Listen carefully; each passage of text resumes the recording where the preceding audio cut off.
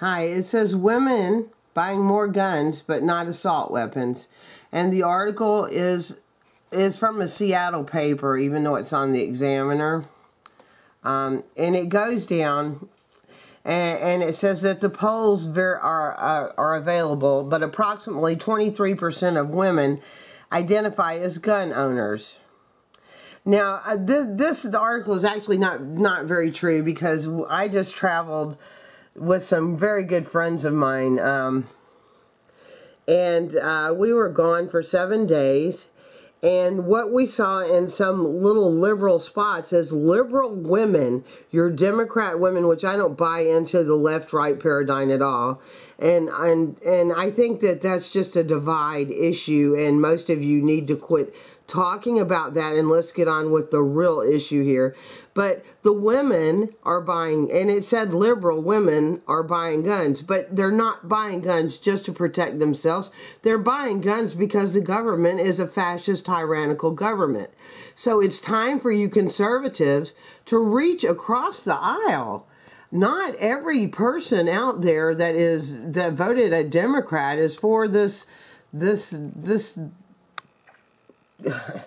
I don't know, this fascist empire. I think most people are right now starting to say this is an empire system and we'll probably have to fight our way out. Let's, let's hope we don't.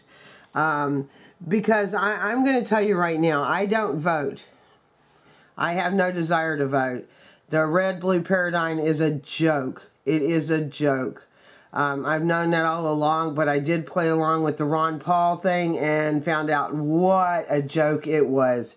So now I listen to my instincts, and I'm just telling you, you want to stop the division, you better reach your arm across that aisle, shake a hand of a liberal person or a conservative person because you will find you have more in common with them than you are divided. The only people that are dividing you from them is the government, the propaganda machines.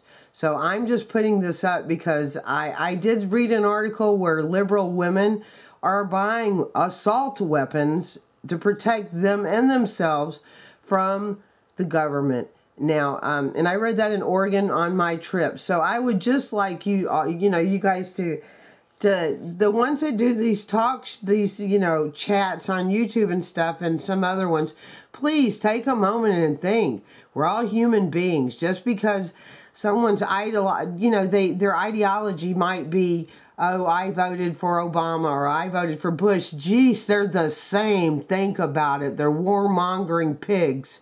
Um, so I didn't vote for none of the above. So you can say what you want about me, because I want my kids to live in a free society. Now, that's what we need to start moving towards is humanity into a free society and walk away from this empire system. We can do it. It's easy. I this when we went on our trip, we bumped into everybody on our same frequency. It was amazing. Now, everyone needs to stop putting labels on people and let's just reach across the aisle and accept everyone and learn from each other. And that's all I have to say. I had to rant because I was getting a little upset by reading some of this stuff on the internet. So I'm going to turn it off. But peace, everybody.